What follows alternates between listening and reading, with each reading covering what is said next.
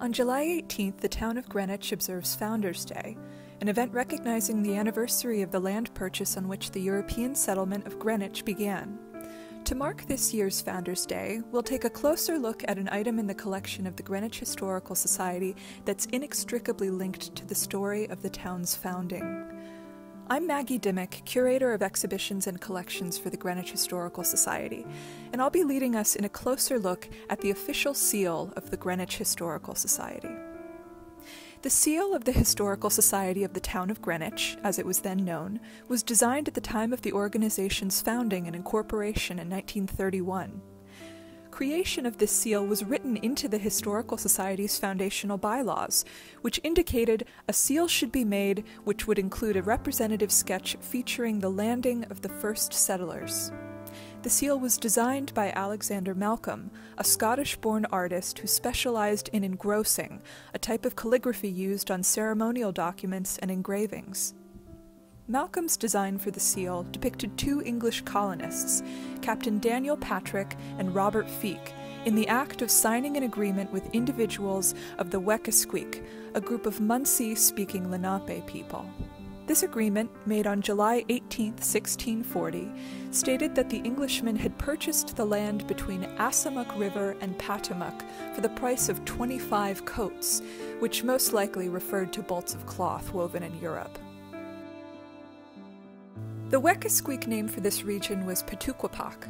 The piece of land where their meeting took place was known as Monakewaygo, the English renamed it Elizabeth's Neck in recognition of Robert Feake's wife, Elizabeth Feake, who purchased this piece of land in her own name. In the 19th century, the peninsula came to be known locally as Todd's Point. Today it bears the name Greenwich Point. In the 1930s, when the Historical Society was founded, Greenwich was a rapidly expanding town. The United States was emerging as a global power following World War I, and Americans and Greenwich residents alike were eager to learn about their historic roots. In 1940, Greenwich celebrated its town tercentenary with a week of parades, pageants, and celebrations. Malcolm's design for the Historical Society seal was used in commemorative publications for that event. In 1935, four years after the Greenwich Historical Society was founded, the Perrott Memorial Library gave them use of their building for storage and display of their growing collections. At that time, the Historical Society commissioned painter Robert W. Amick to create a large oil painting of the Historical Society seal. This circular painting, nearly four feet across, hung for many years in the Perrott Library. The painted seal portrays a harmonious transaction between the Lenape and the European colonists. There are many precedents to such allegorical images of peaceable meetings between Europeans and Native Americans. The well known painting by Benjamin West of William Penn's treaty with the Indians, for example, has long been held as an icon of American history. In reality, the relationship between European colonists and the native Lenape was much more complex. Compared to the newly arrived Europeans, the Weichquaesgeck and other Lenape peoples held vastly different conceptions of property and ownership when it came to land and its use. These mutual misunderstandings and power imbalances led to a series of fraught and violent conflicts between the Lenape and English and Dutch colonials along the Connecticut coast and Hudson River Valley.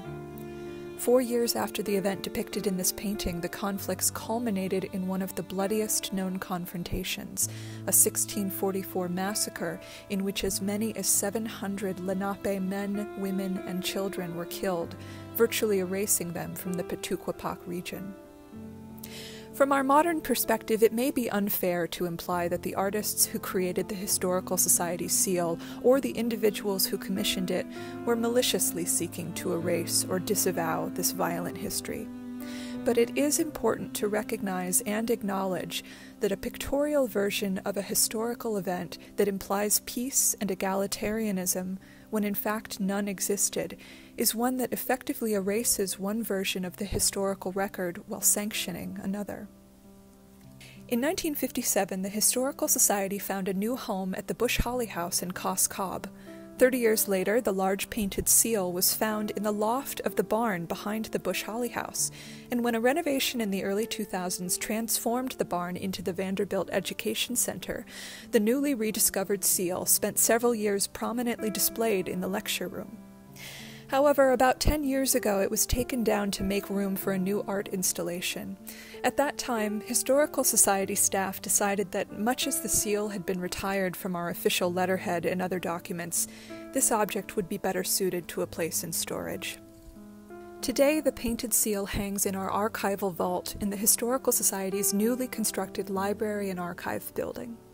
It's an object that speaks to the Historical Society's institutional legacy, but it also serves as a reminder that as stewards of local history, the Greenwich Historical Society is charged with interrogating such objects in the interest of shedding light on the past and telling more honest, complete stories about our town's history.